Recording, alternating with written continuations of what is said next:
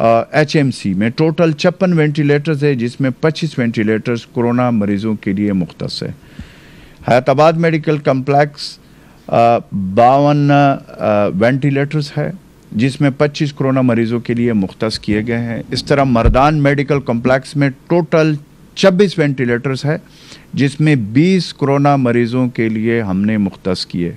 मुफ्ती Mahmood hospital, Dera Ismail Khan. जिसमें 11 ventilators है और तमाम वेंटिलेटर्स कोरोना मरीज़ों के लिए मुख्त है। इस तरीके से काजी हुसैन अहमद मेमोरियल हॉस्पिटल नौशेरा में आठ में से तीन वेंटिलेटर्स कोरोना मरीज़ों के लिए मुतन है। खलीफा गुल नवाज़ हॉस्पिटल बनू, सात वेंटिलेटर्स कोरोना मरीजों के लिए मुख्त है। स्वात के हस्पताल में चौबीस वेंटिलेटर्स है जिसमें 19 कोरोना मरीजों के लिए मुख्त है। अयूब टीचिंग हॉस्पिटल एबटाबाद में 32 में से 17 वेंटिलेटर्स कोरोना मरीजों के लिए आ, हमने मुख्त किए। पशावर के मुख्तलिफ़ जो प्राइवेट हस्पताल है उसमें टोटल सत्रह सौ छः बेड्स है और बहत्तर वेंटिलेटर्स है जिसमें एक सौ सोलह बेड्स और तेरह वेंटिलेटर्स कोरोना मरीज़ों के लिए मुख्त है। का मकसद ये है कि जो कैपेसिटी के हवाले से, अल्हम्दुलिल्लाह, अभी तक हमारे पास जो कैपेसिटी है वेंटिलेटर्स बेड्स का कोरोना के हवाले से वो हमने जो बढ़ाया है, वो मैंने आपके सामने रख दिया कि इस वक्त हमारा वो जो है टोटल वो ठीक जा रहा है, जो हेल्थ केयर सिस्टम है इस वक्त। दूसरा मैं एस ओ पीज़ के हवाले से मैं बात करूँगा। एस ओ पीज़ के हवाले से मैं पिछले वज़ी अला महमूद ख़ान साहब की जो वाज अहकाम इस हवाले से जो उन्होंने इंस्ट्रक्शन दिए हैं, उसमें नौ दिन में जो कार्रवाइयाँ की गई है, उनकी तफसीलात मैं आप लोगों के सामने, आवाम के सामने रखना चाहता हूँ। गुजशत नौ नौ दिनों में, सुबह भर में दो लाख सैंतीस हज़ार तेरह कार्रवाइयाँ की गई है। एस ओ पीज के खिलाफ वर्जी पर उनसठ हज़ार। आठ सौ बाईस यूनिट्स कारोबार को वार्निंग जारी किए गए। हैं हुकूमती अहकाम की खिलाफ वर्जी पर इकतालीस हज़ार पाँच सौ इक्यानवे कारोबारी अफराद पर एक करोड़ चौबीस लाख तिरपन हज़ार से ज़्यादा के जुर्माने आयद किए गए हैं। इस तरह एस ओ पीज की खिलाफ वर्जी में चार हज़ार पाँच सौ इकतीस यूनिट्स कारोबार सील कर दिए गए हैं। इस तरह मैं टिड्डी दल का ज़िक्र करूँगा। टिड्डी दल से मुतासरा इलाकों में ऑपरेशन जारी है। महकमा ज़रात रिलीफ डिपार्टमेंट पीडीए में पाक आर्मी के जवान और मुतलका ज़िला इंतज़ामिया इस वक्त मिलकर फ्रंट लाइन पे जो टीडी दल है उसके खिलाफ जो जंग है वो लड़ रहे हैं। इसमें टोटल जो हमारी टीमें हैं, खैबर पख्तूनख्वा के पाक आर्मी के साथ मिलकर सात सौ अट्ठावन एहलकार है, उनासी गाड़ियाँ हैं, हिस्सा ले रही है और अस्सी इसमें जो है ना इस वक्त जो है, वो है।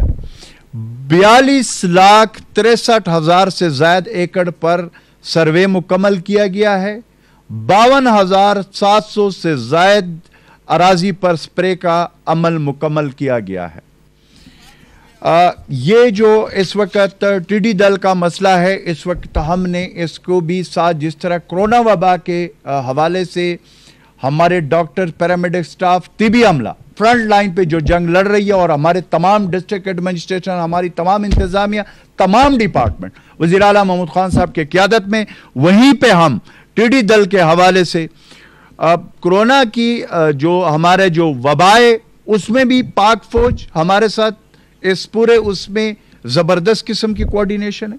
हमारे साथ मुकम्मल जो है सिविल गवर्नमेंट के साथ हमारे जो आ, जिस जगह पे उनकी ज़रूरत होती है वहाँ पे वो बढ़ चढ़ कर हिस्सा ले रहा है। इस तरह टिड्डी दल के हवाले से भी जहाँ पे हमारे रिलीफ डिपार्टमेंट ज़रात पीडीए में वहाँ पे हमारी पाक फौज के जवान भी शाना बशाना टिड्डी दल के खिलाफ जो जंग है वो भी लड़ रहे तो इसलिए मैं इसमें आप के सामने अभी दो चीज़ें बड़ी इंपॉर्टेंट है जो मैं आपके सामने आज रखना चाहता हूँ। एक तो यह कि फेडरल बजट के हवाले से जिस तरीके से कोरोना दुनिया में फैली हुई है, जो वबा हुई है, जिसमें पूरी दुनिया की मीशत को जिस तरीके से किया यह कोई डकी छुपी बात नहीं है। इसमें प्राइम मिनिस्टर इमरान खान के क्यादत में जो माशी टीम है, उन्होंने ज़बरदस्त किस्म का टैक्स, पहली दफ़ा टैक्स फ्री बजट पेश किया। और फिर बजट में ताजर बरादरी समेत गरीब मजदूर तबके के बड़े पैमाने पर रिलीफ फराहम की गई है। और पाकिस्तान की तारीख में पहला मौका है कि ताजर बरदरी हो या हमारे गरीब तबका हो या हमारे सारे तो इस मुश्किल वक्त में जिस तरह का बजट आया, मैं चैलेंज करके कहता हूँ, इस इस तरह का बजट का किसी ने मतलब सोच भी नहीं, सोचा भी नहीं जा सकता था जो इस वक्त आया तो इसलिए मैं अपोजिशन को कहना चाहता हूँ कि होश के नाखन ले ले। आप लोगों के दौर में मैं हमेशा से एक बात करता हूँ कि यह अल्लाह ताला के हमारे ऊपर बहुत बड़ा करम है कि इस मुश्किल वक्त में हमारे प्राइम मिनिस्टर इमरान खान साहब, अगर इस मुश्किल वक्त में मैं नाम नहीं लेना चाहता लेकिन अगर कोई लुट्टो और पुट्टो ग्रुप होता तो पता नहीं इस मुल्क का क्या हाल होता। तो अल्लाह का बड़ा फजल करम है कि इस वक्त प्राइम मिनिस्टर इमरान खान से जहाँ पे एहसास प्रोग्राम की मैं बात करूँगा, एक सौ सतासी अरब से बढ़ाकर 208 अरब, जो गरीब के लिए है। इस तरीके से नौजवानों के लिए दो अरब कामयाब जवान प्रोग्राम और बहुत सारी चीज़ें जिसकी मैं डिटेल में अभी फिर मैं इस पे बात करूँगा, लेकिन ओवरऑल मैंने जो देखा है, ज़बरदस्त बजट पेश किया है। एक चीज़ जो बहुत इंपॉर्टेंट है, वो एक्स फाटा के हवाले से मैं आज बात करूँगा।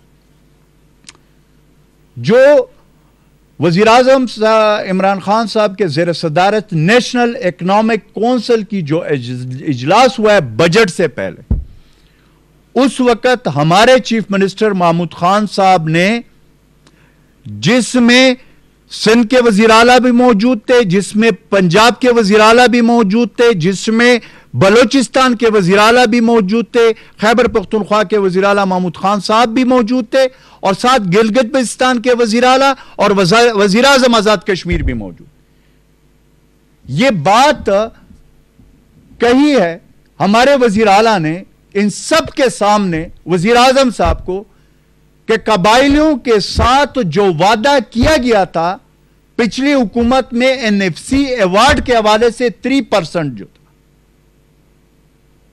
उस पे अमल दरामद सूबे करें। क्योंकि ये जो फैसला था, ये वो फैसला था जिसके बुनियाद पे ये मर्ज कायम हुआ था। ये बाकायदा उस आईनी अमेंडमेंट में था। ये हमने नहीं किया था, ये सरताज अज़ीज़ की कमेटी के सफारशात है, जिसमें थ्री परसेंट जो मर्ज डिस्ट्रिक्ट के लिए फैसला किया गया था। बदकिस्मती से मैं आज ये पूछना चाहूँगा कि हमने अपना सबके सामने, हमारे वज़ीर आला साहब ने यह केस रखा था नेशनल इकोनॉमिक काउंसिल में, और उसमें खसूसन सिंध हुकूमत से रिक्वेस्ट की गई थी। बिलावल बार बार कबाइलियों की बात करते हैं मर्ज से की बात करते हैं, और कहते हैं कि जी उनकी महरूमियों की बात करते हैं तो क्यों उनकी हुकूमत, सिंध जो एनएफसी में थ्री परसेंट का फैसला हुआ था कबाइलियों के लिए, जिस पे तमाम पॉलिटिकल क्यादत पाकिस्तान का राज़ी था, जिस पे एग्रीमेंट हुआ था, जिस पे कंसेंसस हुआ था तो क्यों सिंध हुकूमत मर्ज डिस्ट्रिक्ट या एक्स वाटा के अवाम को वो हिस्सा, जो इनका हिस्सा बनता है, वो क्यों नहीं दे रहे? तो इसलिए बलूचिस्तान हुकूमत से भी मेरी वज़ीर अला बलोचिस्तान से भी हमारी यही गुजारिश है कि वो जो एन एफ़ सी में थ्री परसेंट कबाइलियों के लिए रखा गया था, अल्हम्दुलिल्लाह खैबर पख्तूनख्वा हुकूमत ने अपना हिस्सा पिछले बजट में भी और इंशाल्लाह इस बजट में भी वो देंगे, हम। लेकिन अगेन सिंध हुकूमत को मैं मुखातिब होकर कह रहा हूँ। बिलावल भुट्टो को मैं कह रहा हूँ, जरदारी, कि आपके सिंध हुकूमत है आपकी। जो एनएफसी में आपने कंसेंसस से फैसला किया था, वो कबाइलियों का जो एनएफसी में थ्री परसेंट बनता है, उसमें जो आपका हिस्सा है, खुदारा, वो इन गरीब, इन गयूर और इन, जिन पे बहत्तर साल की जिनके महरूमियाँ हैं, उनका हिस्सा दे इस तरीके से मैं वज़ीर आज़म पाकिस्तान से, इमरान खान साहब से मैं ज़रूर उस दिन भी नेशनल इकनॉमिक काउंसिल में, उन्होंने जब यह बात की वज़ीर अला खैबर पख्तूनख्वा में, ने तो वज़ीर आज़म साहब ने कबायली या हमारे जो मर्ज डिस्ट्रिक्ट है उसके हवाले से यह बात की थी कि इंशाल्लाह इस पे जो फेडरल हुकूमत का है, पंजाब हुकूमत का है और खैबर पख्तूनख्वा हुकूमत का है। खैबर पख्तूनख्वा हुकूमत तो देने जा रही है, पिछले दफ़ा भी दी। तो इससे हमारी गुजारिश होगी, हमारी ये अपील है कि जो एनएफसी में जो मर्ज के हवाले से फैसला हुआ था, उस पर अमल दरामद करके मर्ज डिस्ट्रिक्ट के वो थ्री परसेंट जो है, जो कि सबको पता है और कंसेंसस से यह फैसला हुआ है, वो मर्ज डिस्ट्रिक्ट के लिए वो पैसे दे। क्यों? इसलिए कि खैबर पख्तूनख्वा हुकूमत में मर्ज हुआ है खैबर पख्तूनख्वा में। लेकिन जो कबायली अवाम की महरूमी है बहत्तर साल की वो तमाम की ज़िम्मेदारी बनती है। हमारे जितने वसाइल है, खैबर पख्तनख्वा की, हमारा तो वो हिस्सा है। हम तो अपने वसाइल में से भी देंगे। और इंशाल्लाह हमारी जो वसाइल है, वो कबायली और हमारे जो मर्ड डिस्ट्रिक्ट के लोग हैं, उसके ऊपर कुर्बान है। लेकिन उसी वक्त में ये तमाम सूबों की ज़िम्मेदारी है कि जो वादे वईद किए गए थे, उस वक्त और जो बाकायदा रिटर्न शेप में मौजूद है, जिस पे मर्ज किया गया था, वो थ्री परसेंट मेरी गुजारिश है कि वो जो मर्ज डिस्ट्रिक्ट के लोग हैं, उनके जो थ्री परसेंट है, वो दे दे। और ये बात जो बार बार की जा रही है, इसलिए मैं क्लियर करना चाहता था कि हमने ये नेशनल इकोनॉमिक काउंसिल जिसमें चारों सूबों के वज़ीर आला गिलगित बल्तिस्तान के वज़ीर आला और वज़ीर आज़म आज़ाद कश्मीर अगर मैं गलत कह रहा हूँ, जब वज़ीर आला महमूद खान साहब ने यह बात की, और उसके बाद हमारे गवर्नर शाह फरमान साहब ने बात की कि वो हमें एनएफसी का जो वो है, वो कंसेंसस से करके उसके ऊपर अमल दरामद करे, ताकि वो कबायली अवाम पे वो जो सौ बिलियन तकरीबन बनते हैं, ताकि वो पैसे उन तक पहुँचे। इस तरीके से मैं आखिर में इस वक्त जो कोरोना वबा है उस हवाले से मैं यही कहूँगा, अवाम से भी अपील करूँगा कि सूरत हाल आपके सामने मुश्किल हालात है एस ओ पीस पे अमल करे और एहतियाती तदाबीर पे खुदारा अमल दरामद करे। हमारा हेल्थ केयर सिस्टम की जितनी कैपेसिटी है, उसके मुताबिक हमारे डॉक्टर्स पैरामेडिक स्टाफ हमारी तिबी अमला, हमारी डिस्ट्रिक्ट एडमिनिस्ट्रेशन हमारे तमाम डिपार्टमेंट हमारी सरकारी मशीनरी वज़ीर अला महमूद खान साहब के क्यादत में हम फ्रंट लाइन पे हैं।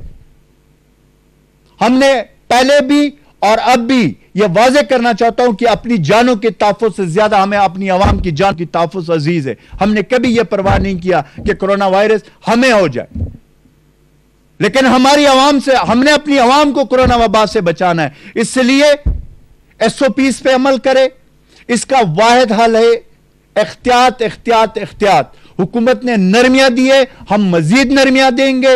लेकिन अगर एस ओ पीज पर अमल नहीं होगा एहतियाती तदाबीर जो डॉक्टर पैरामेडिक स्टाफ या जो हमारे आ, जो हुकूमती एस ओ पीज है उस पर अमल दरामद नहीं होगा तो हम सख्ती करेंगे। इसलिए मैंने एस ओ पीज के हवाले से पहले आपको बताया कि जिन पे अमल नहीं हुआ उस पर हमने एक्शन लिया।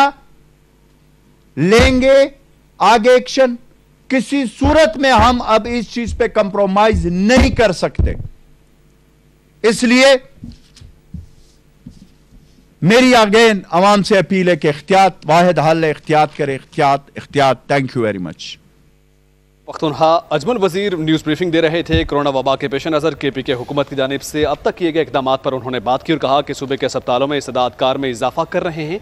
अजमल वज़ीर ने मजीद कहा कि एस ओ पीज़ पर खिलाफ वर्जी करने वालों के खिलाफ कोई रियायत नहीं बती जाएगी। दूसरी जानब पाकिस्तान तहरीक इंसाफ के रहनमा फिरदोश शमीम नकवी मीडिया से बात कर रहे हैं। वन पॉइंट वन परसेंट बढ़ी और अगर आप, आप इसको रुपये में कन्वर्ट कर लें तो ये एक सौ चवालीस फ़ीसद बढ़ी एक सौ चवालीस फ़ीसद एक्सपोर्ट बढ़ी।